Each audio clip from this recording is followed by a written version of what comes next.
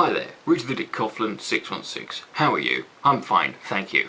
One of the many criticisms I receive when I criticise other people who criticise religion is, aren't you an atheist? Surely you believe this is bullshit anyway. Why are you helping the enemy? Which I feel is the wrong question.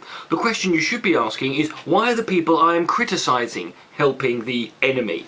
After all, it is they who are speaking as if they are experts on a subject that they clearly know very little or nothing about. Or they're just making stuff up. This immediately not only detracts from your own credibility, but it adds to the of the other side as well. This is one of the problems I had with the first part of the film Zeitgeist, which was basically just atheist methadone, really. It's a 30 minute documentary of just bullshit with disparate facts used to tie it all in together, but most of it is just completely made up. Now, you might say, but it's all bullshit anyway, so who cares? To which I would say, I fucking do. And guess what? So do the people who you are claiming believe this bullshit but don't. How the hell are you going to convince anybody that what they believe is bullshit when the bullshit you're trying to tell them they don't believe is what they don't believe in the first place? Imagine you hadn't seen the film Lord of the Rings. Imagine you had never seen it before in your life and you go up to someone and say to them, hey, what's this Lord of the Rings movie about? And they tell you, well, it's a story where a load of Polish gnomes sit around playing chess for ages in their underpants with freeze-dried hamsters.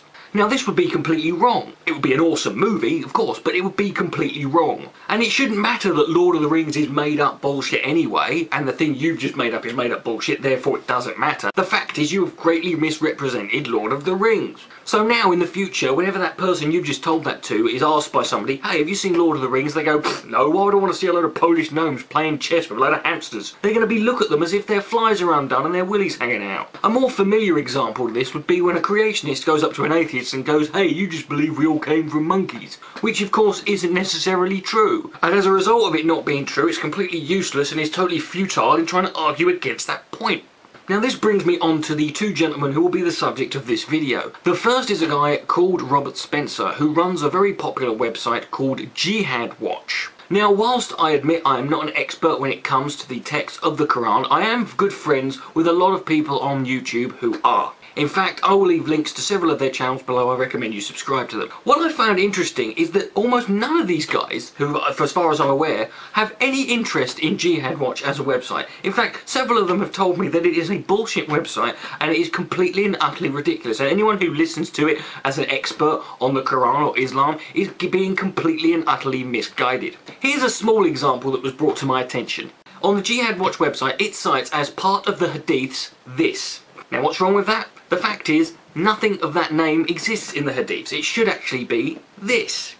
Now I know this might seem a tad nitpicky and me just going over something that's a little bit trivial, but if I set up a website called Bible Watch and claim to be this big expert on all the biblical texts and all of the Gospels and all of the Old and New Testament, I don't think it's too much for you to ask and you're not being too demanding by asking me that I should at least get the text and the verses right. It's no good to me telling you to look up chapter 1 verse 3 of Deuteronomy or go and look at the writings of Matthew, Mark, Luke, John, Paul, George or Ringo. But ultimately, none of this really matters because Robert Spencer doesn't need to be an expert on Islam because the people he's appealing to, he's not appealing to their sense of intellect, he's appealing to their sense of fear and he has a much simpler agenda to push. Recently, Robert Spencer appeared on a TV show called The 700 Club, which is hosted by Pat Robertson. Here is what Spencer had to say. Well, I tell you, I think the unpleasant truth about it is, is that the media being hard left is essentially anti-American. And so anything that's American, that's Western, that's Christian, that's Judeo-Christian, they hate. And so they see Islam and it's non-Western and non-Christian and they love it. There you have it. The liberal media is in bed with radical Islam because it hates America and the West. Now somebody who believes that to be a factual statement is somebody who must be of such monumental stupidity that I can only imagine they spend their weekends roaming around the wooded mountains, listening to dueling banjos and buggering the shit out of Ned Beatty. But this isn't the case with Spencer. He's not a stupid person. He's actually quite intelligent. He's just a hateful demagogue like all the others that I've been dealing with on this channel and he's profiting out of other people's fears and paranoia based around the political climate that we happen to find ourselves in in Europe and America. Not surprisingly, Pat Robertson agrees wholeheartedly with Robert Spencer on what he just said, but I'm more interested in what Pat Robertson said directly after that in this clip. Ladies and gentlemen, it's out there. You know, you ask the media in this country, what in heaven's name is wrong with you? Are you so anti American?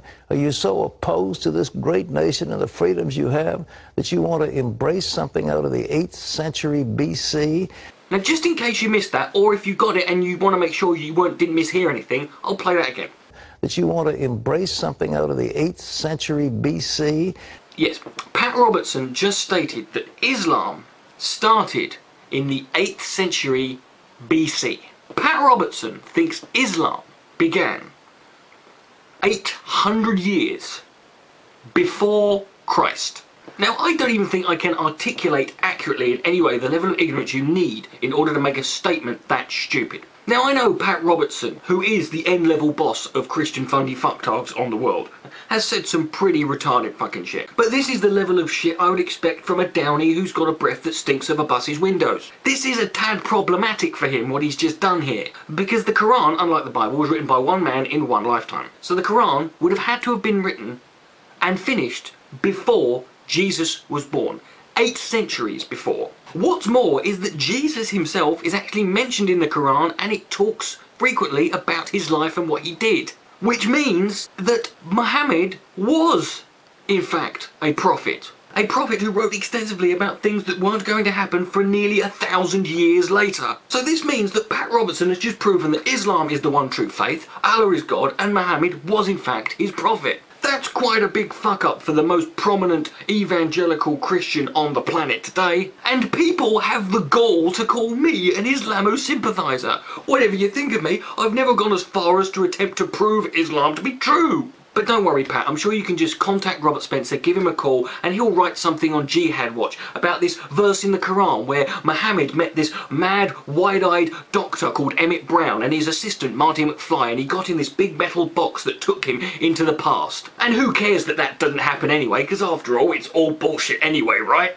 The first rule of war is supposed to be know thy enemy. Well, in the world of skepticism and critical thinking, the first rule is know your bullshit. Because when you try and debunk bullshit with more bullshit, you haven't debunked anything, you've just made twice as much bullshit for the rest of us to clear up. Richard the Dick Coughlan 616, thank you for listening. Good night, may God be less.